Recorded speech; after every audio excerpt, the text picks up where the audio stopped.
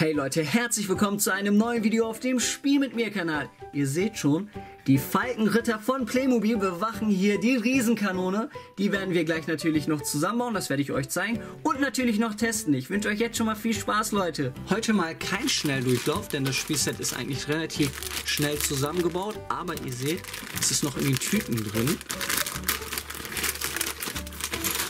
Einmal hier die Räder, die kommen gleich auch dran. Wir sehen hier noch ein Heft, das hatte ich im Unboxing noch gar nicht gezeigt. Hier weitere Spielsets aus der Night-Serie. Oh, ein Riesenkatapult.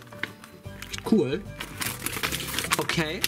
Das soll uns heute aber erstmal nicht interessieren, denn wir haben die Riesenkanone der Falkenritter dabei. Natürlich brauchen wir auch das hier gleich, das packe ich an die Seite und mit Hilfe äh, dieser Anleitung werde ich das natürlich schnell zusammenbauen für euch. Was brauchen wir dann als erstes? Ich schaue mal, wir sehen hier als erstes die Riesenkanone selbstverständlich und dafür machen wir diese Holzräder hier dran. Das kennen wir schon von anderen Spielsets, deswegen packe ich das hier erstmal an die Seite und ähm, ich glaube vom Vorteil ist es, wenn ich hier ein bisschen die Kamera nach unten nehme, ja, das ist doch schon viel besser, oder? Okay, wir sehen hier die Ritter. Die können uns eigentlich auch zuschauen, solange wir die Riesenkanone mal zusammenbauen. Hallo ihr beiden. Hm, die antworten uns nicht. Komisch. Komische Ritter. So. Als erstes hier die Holzräder und das kennt man eigentlich schon von anderen Spielsets. Ich hoffe, ja, das ist die richtige Richtung. So, haben wir schon bei vielen Playmobil-Fahrzeugen gesehen, sozusagen, wie wir die Räder, aber da waren noch Felgen dran. Hier sind natürlich jetzt keine Felgen dran. Ähm, so. Und es funktioniert. So, das nächste funktioniert auch. Im Mittelalter ging das natürlich alles ein bisschen schneller, Freunde. So, okay. Der fährt schon mal. Das ist schon mal super. Dann als nächstes nehmen wir hier diese große Tüte. Hier sind mit Abstand auch die meisten Teile drin, die wir brauchen. Hier die Kanonenkugel. Schaut euch das mal an, Freunde. So groß ist die Figur. Und so groß ist die Kanonenkugel. Die ist natürlich nicht für Personen gedacht, sondern für Mauern oder Burgen, die damit zum Einsturz gebracht werden sollen. Okay, ich packe hier mal gerade die ganzen Sachen aus.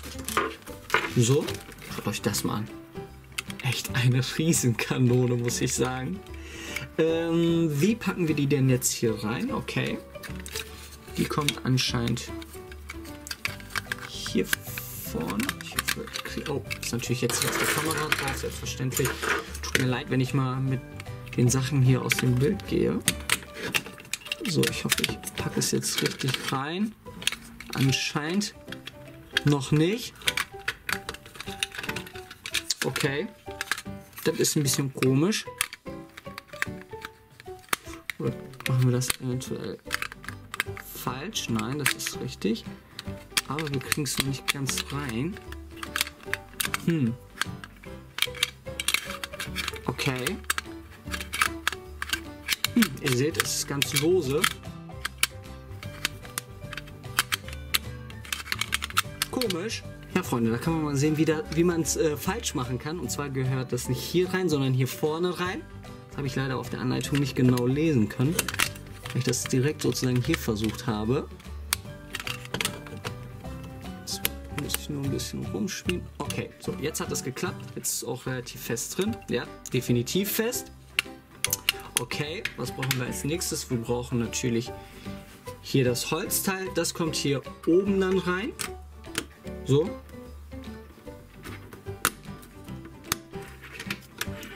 Okay, hier hinten, da kommen noch zwei Waffen hin.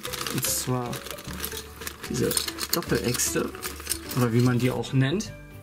Und auch relativ einfach, vielleicht nehme ich das jetzt erstmal raus, denn dann ist es ein bisschen einfacher, die dran zu machen.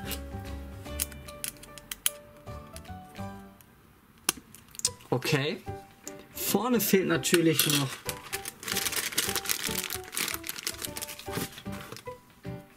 das hier, das sind ja die Falkenritter. Ist auch relativ schnell gemacht. Das kann man auch rausnehmen, wenn man möchte. Okay, damit wären wir eigentlich schon fertig. So, jetzt sieht es doch mal richtig wie eine Riesenkanone der Falkenritter aus.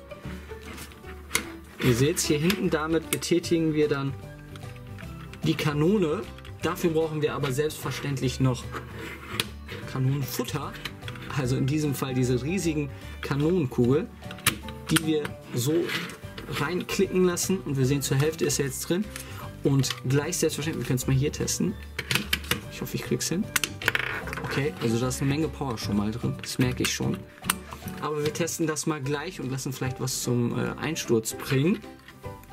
Jetzt erstmal noch die restlichen Teile, wie zum Beispiel hier diesen Wagen. Kommt, glaube ich, einmal hier hin. Ja, okay. Dann haben wir diesen, diese beiden Teile noch. Da frage ich mich gerade, wo die rankommen. Ich schaue mal gerade. Anscheinend hier. Ja. Und hier. Damit die einzelnen Sachen nicht runterfallen, wie zum Beispiel hier diese Kanonenkugel oder auch das Fass hier im Fass. Da können wir jetzt irgendwas verstauen. Die Kanonenkugel passt hier selbstverständlich nicht rein. Nicht schlimm. Wir machen das mal hier zu. Okay. Und auch der Handwagen, würde ich fast sagen, ist fertig, aber da fehlt doch noch was. Genau. Da fehlt noch die Fahne. Da frage ich mich gerade, ja. Dafür nehmen wir dieses Ding hier. Packen das hier so rein. Das haben wir gemacht, aber wie bekommen wir das jetzt hier drauf? Hm. Ah, okay. Hier vorne anscheinend. Vielleicht ein bisschen weiter vornehmen. So, dann hier rein. Und dann haben wir auch die Fahne hier drinne. Ihr seht es hier. Okay, dann fehlen uns nur noch ein paar kleine Teile, die machen wir jetzt natürlich auch noch fertig. Ein Teil habe ich beim Wagen hier vergessen. Ihr seht ja, der ist jetzt so nach unten ein bisschen. Der fällt. Deswegen hier dieses Holzteil noch dran und dann bleibt er auch stehen. Okay. So, jetzt müssen natürlich die Ritter noch vorbereitet werden für die Schlacht. Hier ein echt cooler Helm. Dieser Vorrichtung hier. Zum Schutz, selbstverständlich. Wenn man ganz vorne ist. Und hier der Falke. So, das packen wir mal hier oben drauf. So, die Vorrichtung geht auch schon. Also wir können es auch ohne Vorrichtung benutzen. Wir machen das jetzt hier aber drauf, denn so sieht es auf jeden Fall cooler aus. Okay, wir sehen hier, wir sehen den Ritter eigentlich gar nicht mehr jetzt schon. Ein ganz bisschen echt böse. Machen es mal auf, okay. Die Fackel können wir hier auch unserem Ritter geben. Es ist ja wahrscheinlich dunkel gerade. Hier zumindest nicht. Hier ein fettes Schutzschild. Eventuell kriegen wir das hin, drauf zu bekommen. Ja, dann so ein bisschen komisch aus. So. Oder wir machen es mal umgekehrt und geben ihm hier dieses Ding. Natürlich braucht er auch noch ein Schwert. Deswegen nehmen wir ihn jetzt mal die Fackel hier ab und geben ihm das Schwert. So, wie ein echter Ritter. Alles klar, du bist gerüstet für die Schlacht. Jetzt können wir das hier, hier oben reinpacken. Da bin ich mal gespannt, ob das geht. Jo, das geht. Vielleicht ist das auch hierfür gedacht. Müssen wir nur gefährlich sein, weil wenn hier Pulverfass drin ist, dann darf da natürlich kein Feuer sein. Und hier diesen um Umhang, den können wir den Ritter hier auch noch dran machen.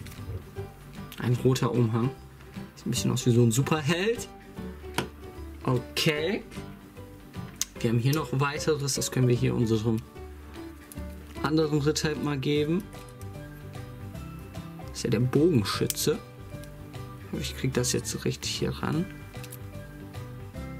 So, ja, das hat geklappt. Natürlich braucht auch dieser Ritter einen Helm. Sieht ohne Vorrichtung. So, drauf ist er. Und natürlich Pfeil und Bogen. Aber ihr seht hier, die Bögen, die können wir leider nicht abfeuern. Können wir vielleicht abschneiden. Aber auch der Bogen ist nicht sehr elastisch. Das ist aus Holz, hier ist kein Gummi oder so.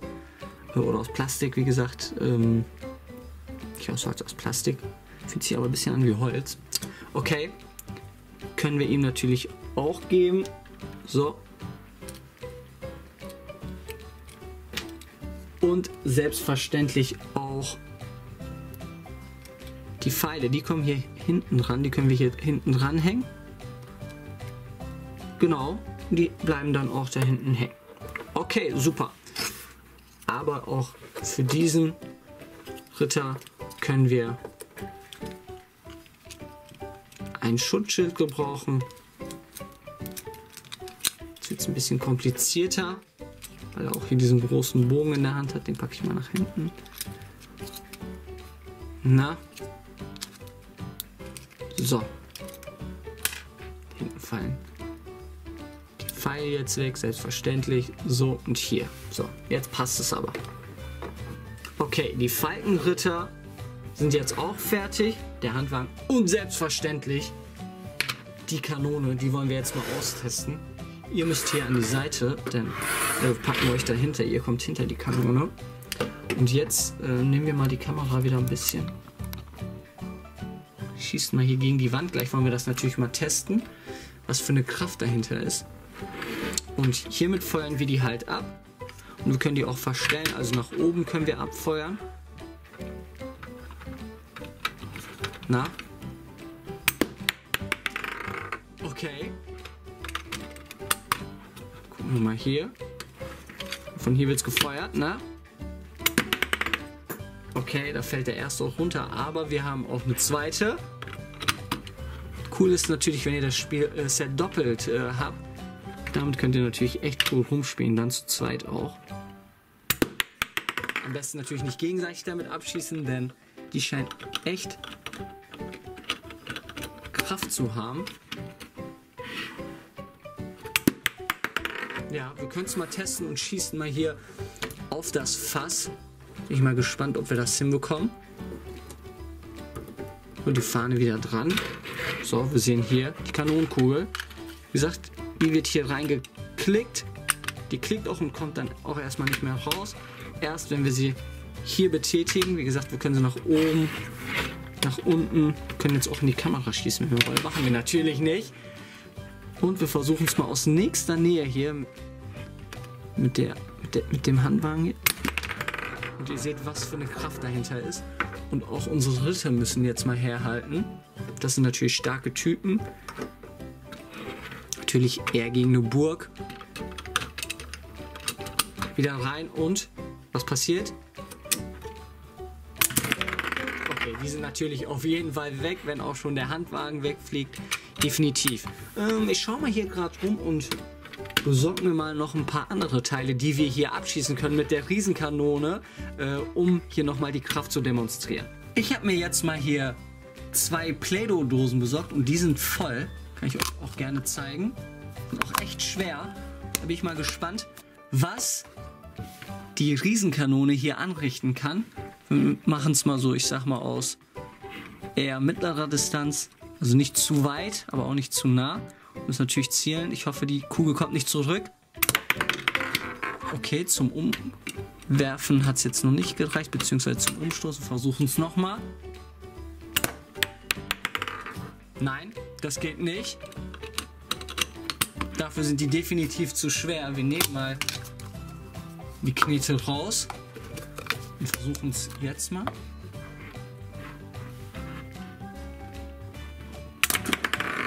Das funktioniert natürlich. Sind natürlich nicht sehr schwer. Ja, definitiv. Wobei mir auffällt, wir könnten ja mit diesem Spielset hier mal beziehungsweise nicht mit diesem Spielset, mit diesen Knetdosen kurz so eine Mauer machen und diese dann mal abschießen. Oder? Wie wär's? So, die Play-Doh-Mauer, die ist jetzt aufgebaut und die Ritter müssen hier natürlich durch die Falkenritter. Packen wir mal am besten hier hin. Und ich würde sagen, Feuer!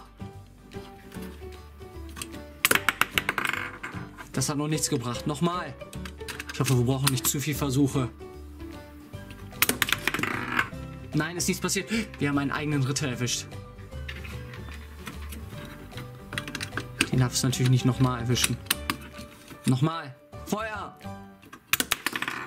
Und es hat schon wieder unseren Ritter erwischt. Ich glaube, der ist jetzt außer Gefecht. Dann packen wir die mal hier an die Seite. Wir kriegen einfach diese Mauer hier nicht weg. Die eine Kanone ist, äh, die Kanonenkugel ist weg. Versuchen es mit der zweiten. Das wird nichts, Freunde. Ich gebe mir noch zwei Versuche. Immer hier auf die grüne Play-Doh-Dose, weil wenn wir die erwischen, dann fällt natürlich alles runter. Nein, das war der zweite Versuch. Wir haben es nicht hinbekommen. Natürlich haben wir hier äh, volle Play-Doh-Knetdosen benutzt. Die sind natürlich echt schwer. Aber auf jeden Fall sehr, sehr cool.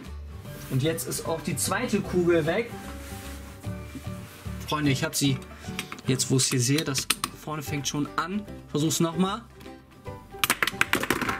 Okay, zumindest ein Teil ist äh, kaputt gegangen von der Playmobil. Mauer hier. Und ich würde sagen, wir gehen jetzt mal kurz noch ins Fazit ähm, von diesem Spielset hier. Die Riesenkanone der Falkenritter. Das Playmobil-Spielset, die Riesenkanone der Falkenritter. Und die Ritter, die schauen wir uns nochmal genau an. Vielleicht den hier als erstes. Der ist natürlich echt cool ausgerüstet. Mit einem Schwert für den Nahkampf. Der hier mit Pfeil und Bogen für den Fernkampf. Deswegen ist er hier auch echt krass ausgerüstet, muss ich sagen. Auch ein kleinerer Schutzschild. Wir haben ihm den kleineren Schutzschild gegeben und ihm hier den größeren, weil der ja nicht so gut ausgerüstet ist. Hier auch ein Bart. Der schützt ihn vor Kälte, nicht vor Gegnern. Ein Umhang, den wir auch abmachen können. Echt cool. Dann schauen wir uns hier den Bogenschützen an. Die Pfeile, die können wir hier leider nicht abfeuern. Wäre auch ein bisschen schwierig, glaube ich. Können wir aber hier dranhängen. So, natürlich der Bogen, hatte ich euch eben schon gezeigt. Und der Schutzschild hier, echt groß. Und äh, der Ritter hier mit Sommersprossen, ein bisschen freundlicher. Was haben wir noch? Den Wagen hier. Damit transportieren wir natürlich hier zum Beispiel dieses Fass und eine zweite Kanonenkugel, die Fahne, die Falkenritter, damit vielleicht auch Verbündete oder Feinde wissen, wer jetzt kommt. Und für Feinde natürlich ganz wichtig ist diese Riesenkanonen hier. Damit haben wir eben mehr oder weniger die Play-Doh-Mauer zum Einsturz gebracht mit mehreren Versuchen. Ist schon eine Menge Power dabei, deswegen bitte nicht aufeinander schießen. Wie gesagt, mit diesem Schalter hier können wir die Kanonenkugel abfeuern. Und selbstverständlich können wir den auch rumfahren, damit wir zur Schlacht kommen. Und hier auch nochmal das Falkenschild. Echt cool die Riesenkanone von Playmobil, besser gesagt von Playmobil Knights. Wir waren im Mittelalter. Hat echt Spaß gemacht. Ich hoffe euch auch. Wir sehen uns beim nächsten Mal, Freunde. Ciao.